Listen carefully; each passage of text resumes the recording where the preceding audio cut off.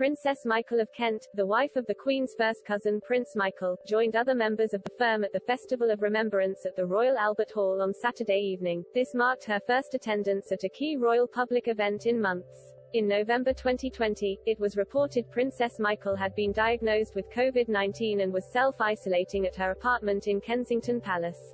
Her spokesman said at the time, Princess Michael of Kent's housekeeper fell ill three weeks ago and HRH was immediately tested and was found to be positive for COVID.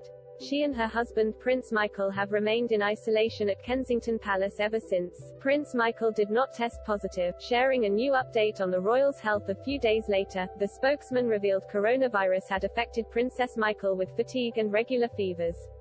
He said, the princess is on the mend. She got it three weeks ago but Shush is getting better. Shush is over the worst. She suffered extreme fatigue and had regular fever. A few months later, it was reported the royal had fallen ill with blood clot. Princess Michael is the third member of the royal family known to have had coronavirus since the beginning of the pandemic. Both Prince Charles and Prince William caught the virus during the first wave of infection in the spring of 2020. Princess Michael, who is the mother of Lord Frederick and Lady Gabriella Windsor, was first pictured in public since the beginning of the pandemic in late May, when she attended a private charity event in London.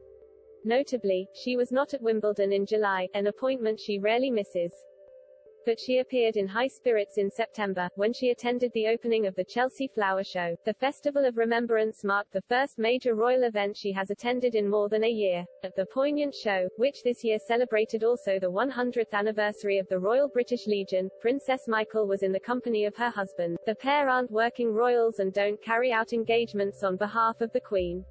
However, they regularly take part in major royal celebrations and events such as Trooping the Colour. Alongside Prince and Princess Michael, all the full-time working royals in the firm supporting the crown with their engagements were in attendance yesterday.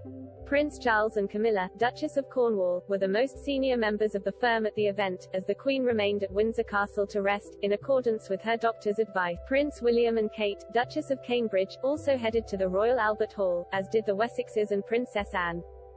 Four more first cousins of the Queen also watched live the splendid Festival of Remembrance, the Duke and Duchess of Gloucester, the Duke of Kent and Princess Alexandra. A few hours after the festival, all the working royals came together once again to mark Remembrance Sunday at the Cenotaph.